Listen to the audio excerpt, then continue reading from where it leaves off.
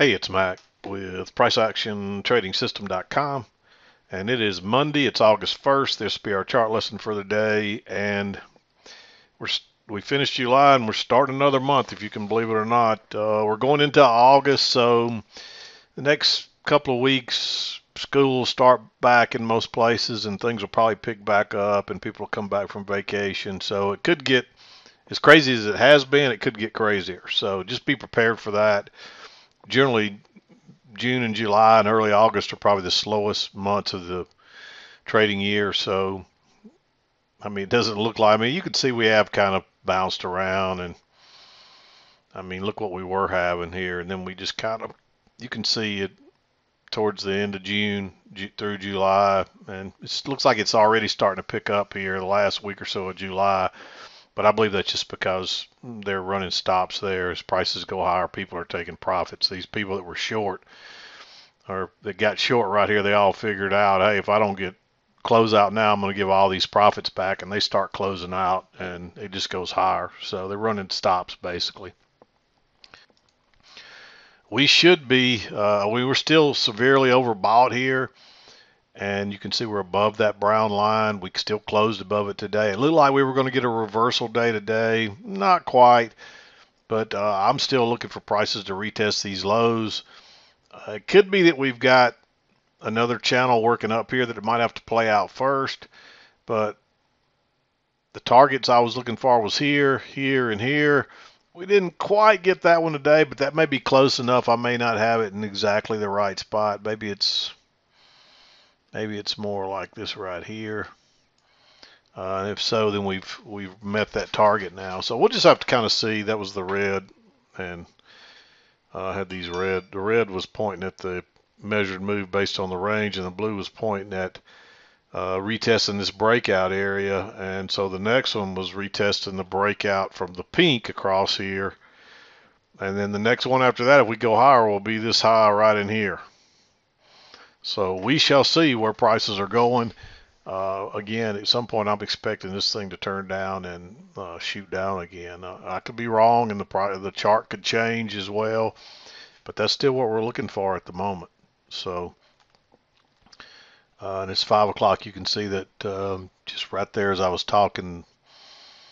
This uh, price is open right here, and so far they opened slightly lower. So um, we could we could turn down here now and, and start trending lower. We'll just have to see. Uh, we're definitely way overbought, so a sell-off is imminent. But sometimes these rallies can go much further and long, last longer than you think they will. So don't guess at it. Wait till the chart shows you, and wait till the chart gives you what you need to see. But anyway, let's flip over to the 2000 tick intraday chart. We'll go through the trades. Uh, not a lot of them today. It was another one of those wild days where the swings are in both directions and just not a lot of clear trading. But we'll we'll look at it here in just a second. But here we go. Here's a high level look at the 2000 tick chart. You can see we made a leg up, got a break, ran to a new high. And normally I would not draw a trend line on these. This is like the retest of this. But in this case, we kind of formed another channel, and you can see they tried to retest that high, but it's really because this is not necessarily a channel. You still can draw these and get an idea what the trend's looking like. But generally, these retest attempts, I do not draw. Just like here, you uh, on the way down, notice you got the channel that's real tight when you get a break, and then this move down. I didn't draw that one. So generally, when you and here's one coming down, you get a break, and there's the one moving down, and I don't usually draw that trend because um, doesn't mean you can't draw it. I just generally don't draw it for clarity and to keep it a little simpler. Um, but anyway, let's. Uh, you can see it. There's no consistent highs really, no consistent lows. We're just running up, running down. Really, the midline was kind of the deciding point. We uh, we bounced on and around and off that all day, and we kind of closed pretty much right at it. You can see there. So um, just one of those days where it's the only thing you can really trade are these trends, and even they're not all real clear. So uh, let's uh, zoom in here, go through the trades. There's another thing here too. Another reason why I drew this one today is notice the overshoot. So sometimes you don't get a retest. So this could just be another channel working up. I didn't get that feeling. Uh, it looked like they were going to be, this yellow one was going to be valid, but in the end it's really not. It looks like it was this one. We had the break here, moved to a new low, and then we reversed. I left this one on here. Uh, and we do get a play off of it right here. So it still was helpful, but in the end, we never got a confirmation. We just reversed and went higher. So I think this this was the trend coming down. And and sometimes people ask me they'll draw this one and maybe I only drew one or I drew this one and didn't draw the bigger one. And they'll say well you know yours was different than mine which one was right? Well they're both right. Somebody asked me that about this little channel here. There's there's a trend channel working up here and then you get a break and you move to a new high but it keeps going. So you just get a new trend right there. I didn't mean to snap on that. And in the big picture there's the blue channel. So those are they're they're lower level trends and trend channels and that happens. And you really couldn't draw the bigger one until you got the third touch here. I really thought this was going to be a correction and a new low, but it keeps going, so you draw it and you go with it. And yeah, that's for somebody new, that's almost impossible. You just do not have the experience to see and recognize what's going on. Just know that once you see prices racing up, look for a trend line or a trend channel and draw it. And don't argue with it. Uh, because your skills are not going to be good enough to know that we what's really going on here most likely. And that's just that's just the way it goes until you get enough experience and you start to realize so you know, people ask me, well, how'd you know it was going on? I didn't know it was going on. I just drew the trend lines and I go with it. That's it. It's that simple. But I, I do this every day for 20 plus years. It gets easier. So uh, there's no easy way. There's no secret sauce. Just just draw your trend lines and go with them. And when when they fail, and you know, don't sit here all the way up and say we're expecting a retest down here. Just say, hey, something's changed. I either read it wrong or something's changed, and I'm going with what's up here now. And that's what you do. But people will sit here and try to sell this all the way up because they think they're supposed to get a retest of this low. Well, come to find out, this channel wasn't valid, and we only would get a retest of this real thin cayenne colored one. And there's the turn down. You get a new low, and it's going the other way. Yeah, I thought too that we'd probably test these lows. But once I see it going higher right there, I'm not going to argue with it. I'm getting on board and going with it. I'm at least draw my trend channel. I don't really see a good trade to get on board with that. But you better bet I'm going to draw my trend line. And if I get a good setup, I'm going to take it. And that's pretty much what that looks like right there. All the way up. It, looks like you get a close outside right there, but it's not real convincing. Then you get a close outside, move to a new high, and then it sells off. And of course, you had this darker color one here, and it does it does bounce there. So you got to go with it, but it quickly gets a break, and it tries several times here to make a new high, and it can't, and then it sells off. So, you know, maybe so this blue one's maybe like the yellow. Maybe we're not gonna get a retest. And, and just go with what you see. And you know, you got one up, one down, uh, this was really a retest of this one because that's the first. These are the first. Actually, you got a close outside on the bullish bar here, so maybe this is a separate one working up. It didn't really matter. I played it that this was the channel working up. I really believe it's more like that. And you do get a close outside, even though they're bullish bars. They let me zoom in there a little bit you can see they close outside then you get a new high and it's coming down. You get a close outside new low. And so more than likely there is a channel right there. And looks like you get an overshoot on this one then it just turns. So once it starts doing this that's sideways action. And that's hard to read because you don't know what prices are doing. All you can do is draw these trend lines or these trend channels trend lines, whatever, and go with them and draw your little sideways stuff because it you don't know prices are still trying to work higher here, but they can't. And then eventually they start going lower, and that's what prices do. They'll test one way, if they can't go, they'll go finally test the other side, and they'll keep going until they finally find the bottom and keep testing, and then go the other way. And so You just have to keep, you have to stay with it.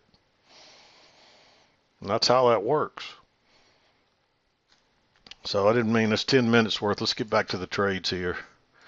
Uh, but I think that was important stuff that was worth talking about. 7 o'clock came.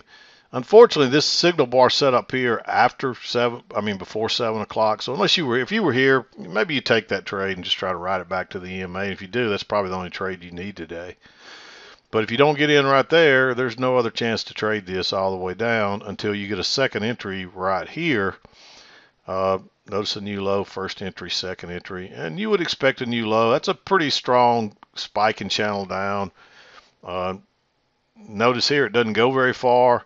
I marked this green because it's got the two bar matching high. It does break lower right there. So you can't really use this for your signal bar. So you really have to wait on this one and then you got to go short one tick lower, and you, you have just enough room to get out of that with six ticks. Actually, there might be a little bit more because you do get out of this with six ticks. Um, that's still a pretty nice setup. So, and very rarely will a setup like that fail on you. Uh, unless there's some reason it should it's still what it is it's still trying to make a new high and it finally does and then it runs on down and makes the new low but notice here I didn't draw this. But notice here, there's a channel working up. And you get a close outside, it tries to go higher once, and then you get a second leg up that makes a new high, and then it sells off. And then there's a little, this is the retest coming back for this one, so I didn't draw it like I talked about. There's no real setups there. You can't go short right into that support. Um, you might, if it wasn't for the congestion here, you might go short right there. But there's some congestion, so I'd skip that trade. Uh, lower high here, like I said, too much support.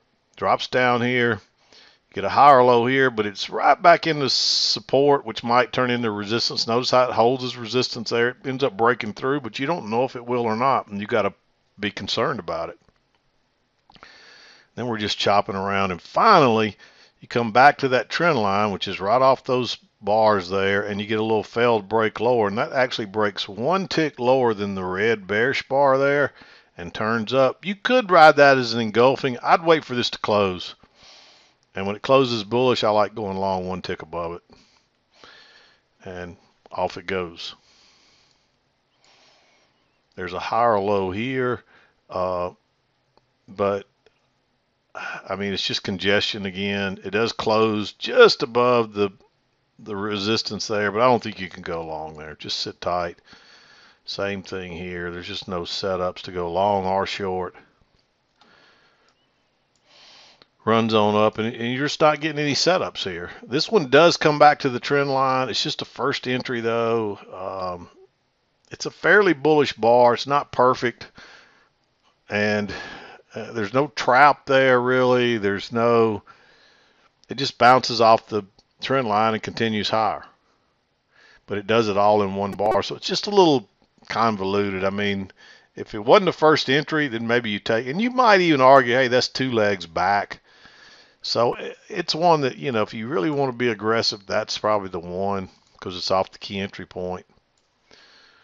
and then we come back down we're chopping along we go back up and we finally get the overshoot and then there's just nothing here there is a little prices uh, I think they make an equal high here. I don't think that breaks lower. 3850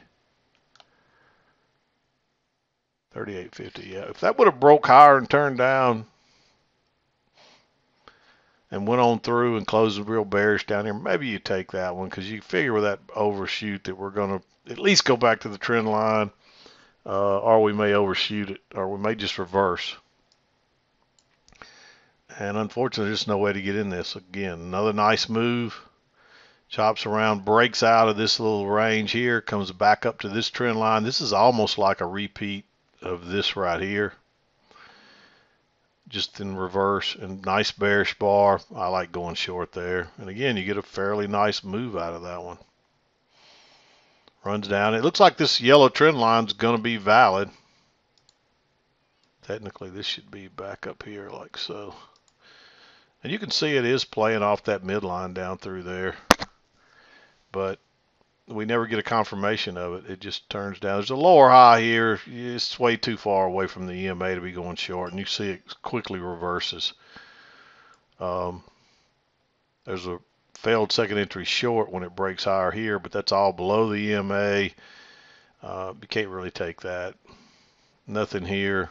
And then it just takes off. And again, these little tight, strong trends if you recognize what these are, every time you get a good signal bar off the trend line, maybe you take these trades.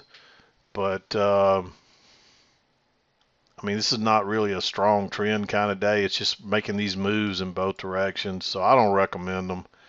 I think you're better off to wait. And if you notice, you came off the highs, drop back down all the way down here to to the trend line, and you get a second entry long right there. I mean, that's a pretty easy to spot second entry right off the key entry point. And that would have been a quick there's a higher low here but by that time you can tell it's a range. You can't take that trade. Same thing here. It's right into resistance. You do get a failed breakout and that's really tempting but you got to go short right into the EMA right there. I mean you would figure it may come back down to here at a minimum and you may get a measured leg like this one You See, we actually get a little more than that. So it's another one you might argue to be green. And of course, that's your closeout side on this khaki colored. And then this is the two legs down to a new low. And look at that nice reversal bar, a long way away from the EMA. Maybe you take that one.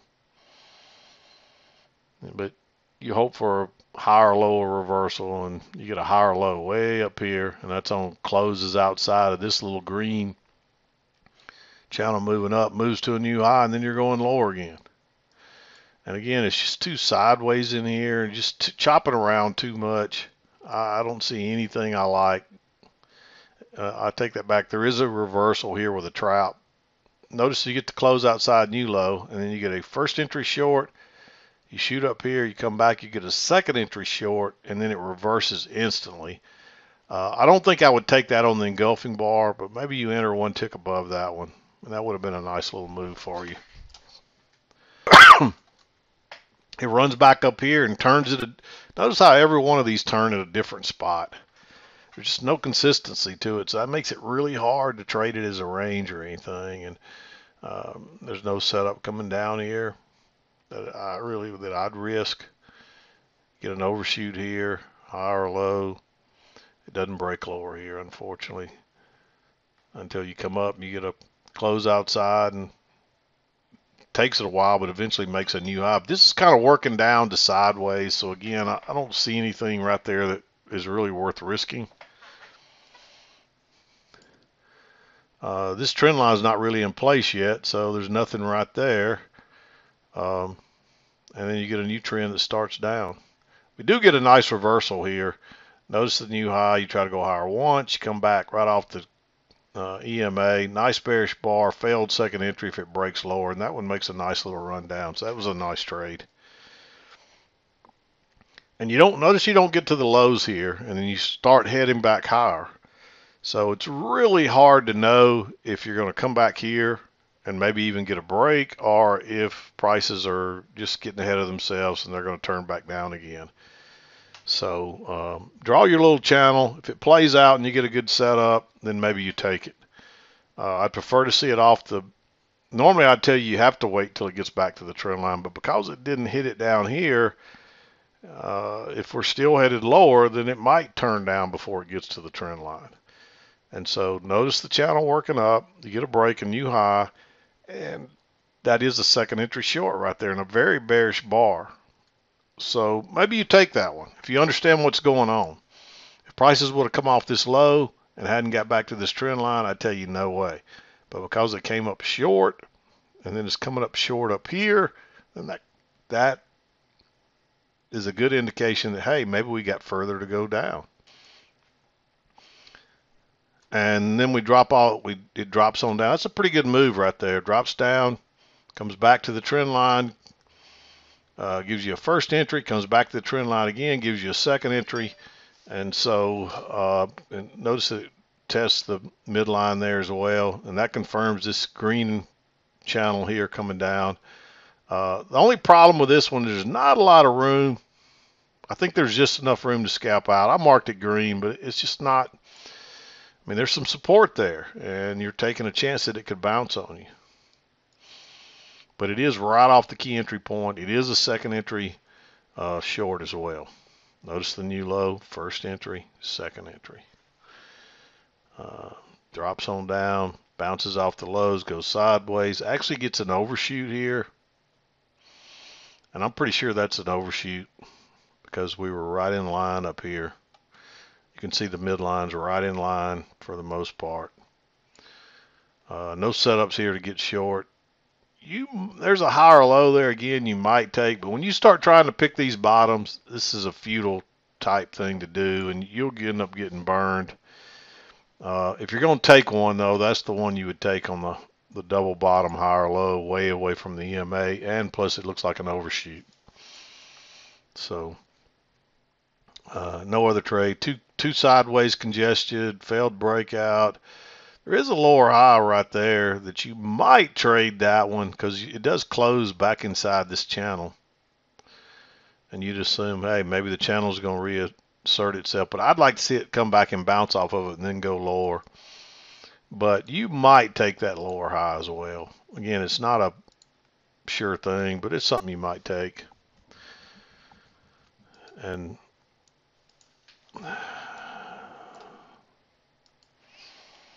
and it bounces here. But we don't know that that's a trend line, and we're still looking for a new low.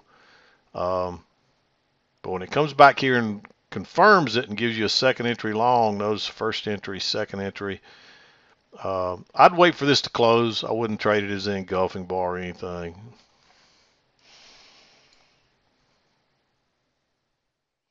And then we break out and fail. Again, nothing really. This just we just kind of come back into that range again there before we break out. And there is a trap right there.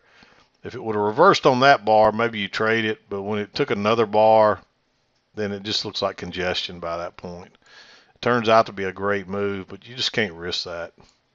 High or low here, but you can't go long right into all these highs. And there's just nothing else here. I mean, then you get the break, close outside new low and then two legs up to a new high. There's another second entry on a new high, but again, it makes a new high there. And sometimes they'll tick lower and go higher one more time, but it's one that you might consider because everything is in play to turn lower now. And this turns out to be a pretty nice move. And then nothing else as we go into 230. And we just continue to chop along the that's the midline of the range, that dash dot. And so it's kind of a dangerous spot where prices just flip flopping back and forth. Pretty much the day was over at 230.